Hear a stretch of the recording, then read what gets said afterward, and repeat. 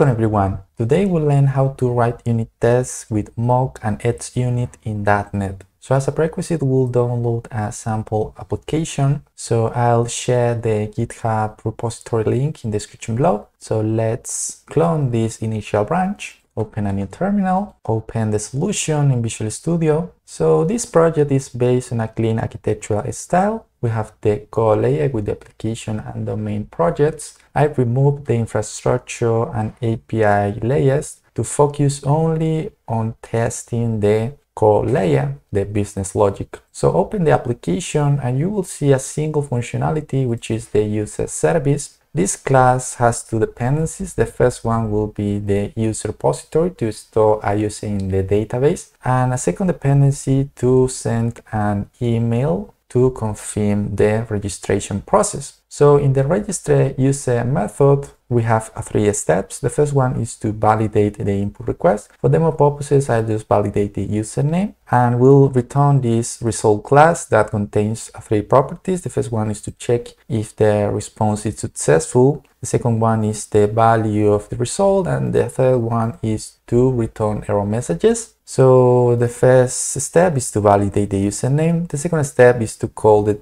database, to call the repository, to create an user. And the last step is to send a confirmation email to complete the registration process. If the email is not sent, this method will return a boolean value, will return this error message. And finally, we'll set its success to true and return the new ID of the user. So we'll test this single functionality. So open the Solution Explorer and right click, create a new folder called test, add a new project, which will be an XUnit test project. Define the name. I will keep the standard of the clean architecture, define the project name and select the .NET version. So let's rename this class as register user test. And the first step is to mock the dependencies. So for that, we'll need to install the Moq NuGet package. So open the package manager console and type install package Moq. And we'll add a second package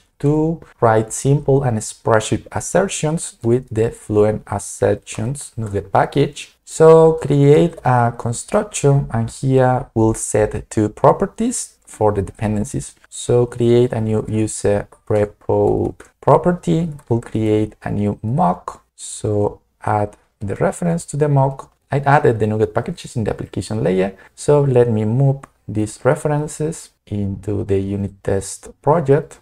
Go back to the test class and we'll mock the interface for the repository. So define the type. We need to add the reference to the application project. This is one way to mock a dependency. The second way is to use a LINQ to Mocks, which is a declarative way to write LINQ queries. So let's create the second dependency, add a new property, and we'll use the mock of by defining the interface. And then by using a lambda expression, we can set up one or more properties at once. So in this interface, I created this template ID property, but we can add multiple properties and just set up at once these multiple properties. And to get the mock object, we'll call mock.get. And this is a second way to create a new mock object. So create the two fields in this class. And finally, in the constructor, we'll create a new user service instance we'll pass the mock objects and define a private field in this class. So we mock the required dependencies to test the register user functionality. Now write the test. The first test shouldn't uh, register a user by validation error. We'll follow the code from this user service. We'll test, we'll cover all the scenarios for this single functionality. So the first one is to validate the username. So it shouldn't register usable validation error. So let's use the AAA pattern to write the unit test. So in the arrange section, we'll create a new user, which comes from the domain project. So add the reference and define an invalid username. Let's define it as empty. So in the add section, we'll get the response from the method by passing the user argument And then in the asset section, let's first verify that the response that this is an asynchronous method. So add the await keyword and change void for async task. And we'll verify that the messages from the response should contain the constant from this user service. It should contain this username not provided constant. And we'll also verify by using the dependencies that the create user method and the send confirmation email are never called. So for that, we'll call the mock object and we'll use the verify function, check that the create user with any user as a parameter is never called. So we'll call times that never. And similarly for the email service dependency from the send confirmation email with any string with any email, verify that it's never called. So let's uh, run the test. It has passed. So let's write a second test for this user service. We'll throw a database exception when we call this create user from the user repository. So it shouldn't register user by database error. So in the arrange section, we'll set a valid username. And in the arrange section, we'll set up this create user method. So call the dependency user repo and the setup function when the create user is called with any user, we'll throw an asynchronous exception. So create a new exception and we'll call error constants that db timeout error will return this error message. So in the add section, let's create a new action to hold the reference to the register used method. So at the reference, this will be, okay, this will be an asynchronous action. So we'll call the user service that register user by passing the user as a parameter and add the await keyword. So we have the reference to the action and to verify that this action throw an exception, call action that should throw asynchronously an exception of this type and we can verify the message of the exception. So we'll call this with message and copy this same error constant. So we verify that this method should throw this exception with this message. And we'll verify that the create user is called once and the email service that send confirmation email method is never called. So run the test.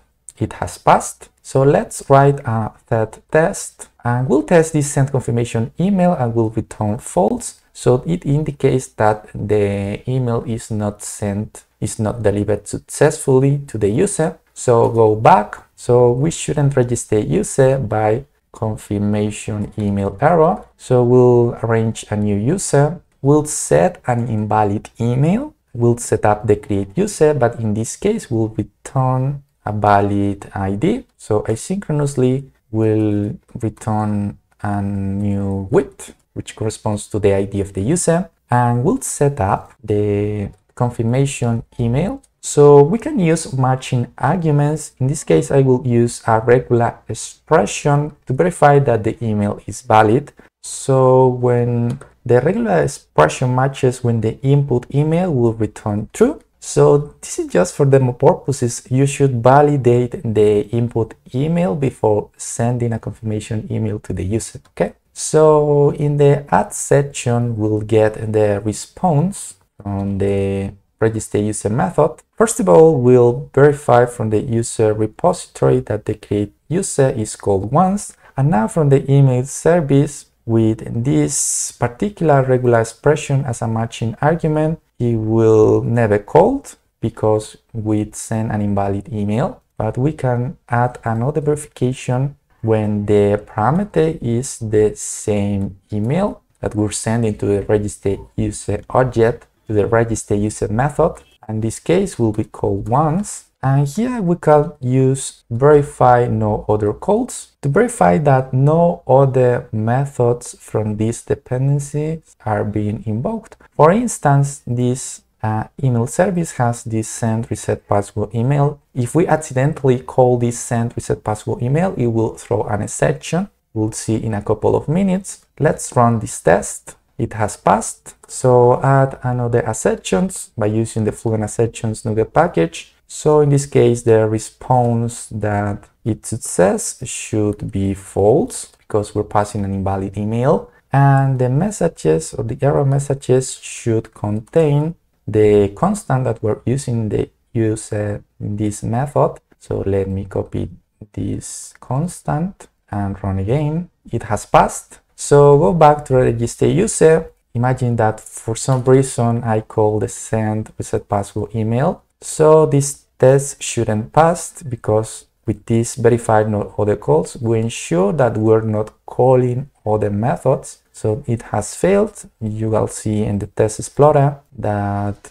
this uh, is a failed verification from this send reset password email. So far so good. So go back to this service and remove this line. We can't reset all the setup and return values from a mock dependency. For instance, we can call email service that reset. And with this verify no other calls, we'll also verify that all these setups are being invoked. For instance, if we just comment throughout this line, this will fail because this send confirmation email setup, when we pass the invalid email, is not being verified. So test again, it has failed, as you will see. This is an unverified invocation so for that, we can just simply call the reset uh, function and run this again. It will remove all the setups and default return values. Now it it, so you can use this option. And we have another function to verify that all setups are being called, are being invoked. So for that, we call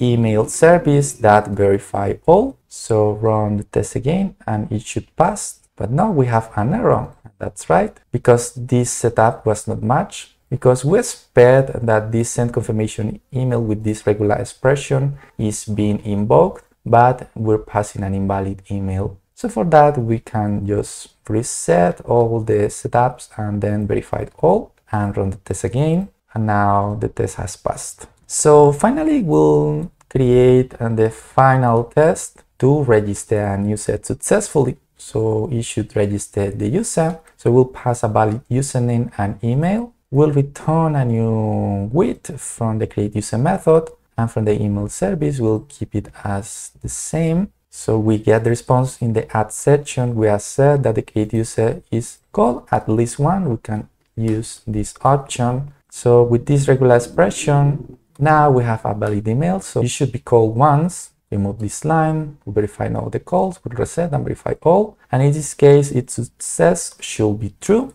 because we're passing an valid email and result that value shouldn't be empty. We'll return in a Guid that represents the ID of the new user. So open the test explorer and run all the tests. We have an error. This is my fault. This is not be empty in this case. Run again and all tests has passed. So in this demo, we learned how to write unit tests with Moq and XUnit in .NET.